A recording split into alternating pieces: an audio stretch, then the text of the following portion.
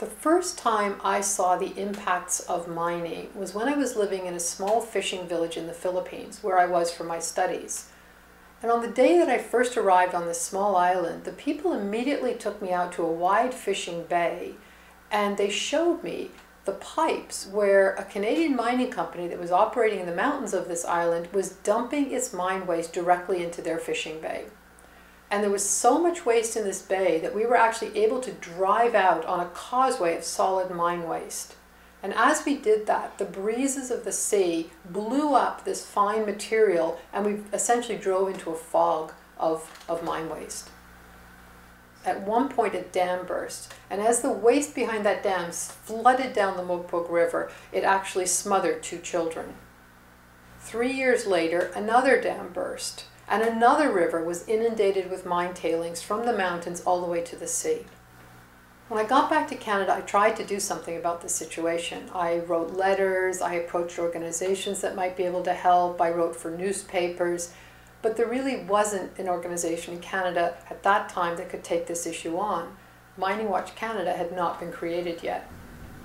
Mining Watch Canada was founded by people who knew that the only way we can hope to affect change is to work in common cause with communities, with the people in the direct path of mining, so to speak.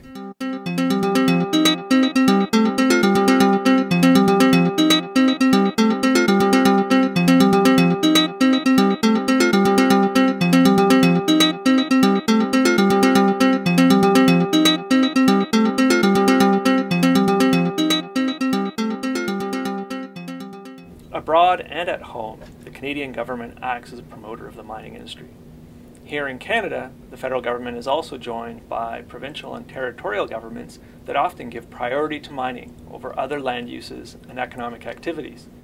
This is often to the detriment of Indigenous peoples, local residents, plans for protected areas, or the use of renewable resources like fresh water and fisheries.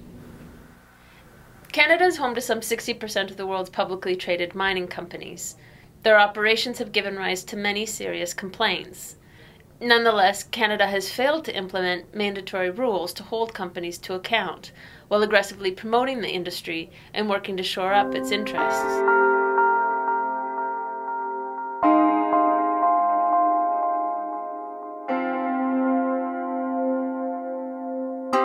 Mining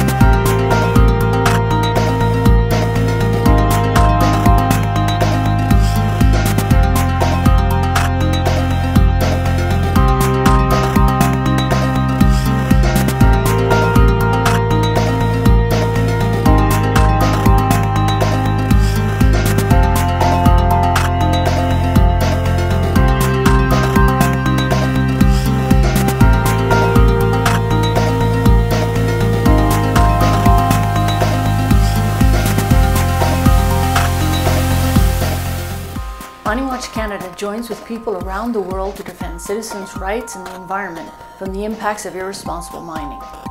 We need support to continue this work.